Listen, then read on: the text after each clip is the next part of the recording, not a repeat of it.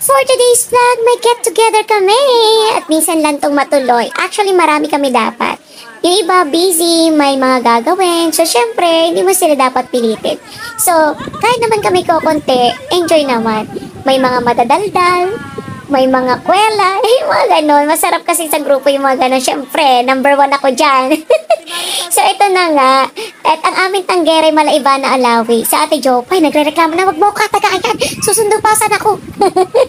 Namang problema sa wheels nila. Buti ako walang wheels at ako'y makikisakay lang sa wheels nila. So, ito pinagbigyan ko na nga, TikTok, hindi po talaga ako nagiinom, ha? Siyempre, nakikisama lang. At sa ate Benz, tawa-tawa. Kahit wala pa akong ginagawa, natawa. Siyempre, tinatawag na ako ng macaroni ni Mama Kusi. Hindi talaga pupunta kung walang macaroni. so, din nagkikwentuhan na nga ng mga nangyari sa buhay, mga ganyan.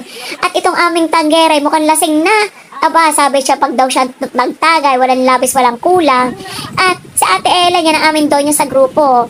At ito na nga, sabi namin, ay, ano ko, ate Sasi, kay lasing na, ayusin pagtatagay. Sisipatin daw niya yan at para walang labis, walang kulang. Sinukat pa ni ate Ella ng stick. Napakakukulit. At pinagbigyan ko nga uli. Ay, ito, asaway, minsan lang makakot mapagalitan ng aking asawa. Minsan lang ito, ha. At kita naman anak ko, nakakuha na na namang kaibigan. Kahit sa kami magpunta, kami nakakakuha talaga agad ng kaibigan. Sabi ko, oh, ala, mag-Jezebel ka na dyan. Enjoy. Thank you sa panonood.